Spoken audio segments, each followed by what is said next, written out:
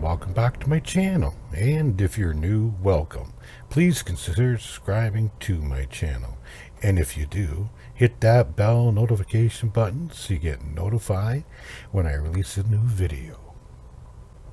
So when I was doing my office reno cleanup, I came across this cool set that I had that I picked up in 2011 and I wanted to share it with you. It's a 2011 Canada 25 cent coin.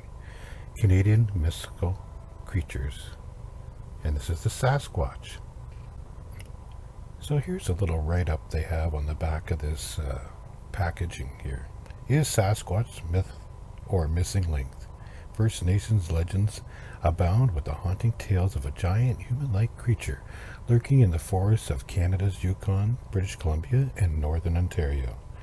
They are not alone. In Asia, people claim to have seen Yeti. In the western United States, they describe it very similar as Bigfoot, a very fast and hairy and strong ape man walking on two feet, as a big bear standing on its hind legs, they say. Sasquatch is reputed to stand about 3 meters, 10 foot tall, and weigh about 227 kilograms, which is about 500 pounds and looking at a huge footprint it leaves behind. Believers say the truth can't be far off. So, what do you think? Would love to hear your comments. Do you believe in Sasquatch, Bigfoot? Leave it down in the comments here. As you can see here, Queen Elizabeth's on this coin as well. It's a nice looking coin. I'm going to put some stats up here so you can see the so this coin here has a face value of 25 cents. It has a mint run of 12,321 produced. It consists of nickel plated and steel. It weighs 12.61 grams with a diameter of 35 millimeters.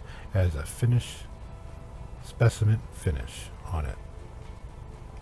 And that's all I have for this video. If you like videos like this, please let me know down in the comments. Also, if you haven't already, please Hit that bell notification button to get notified for future videos and giveaways.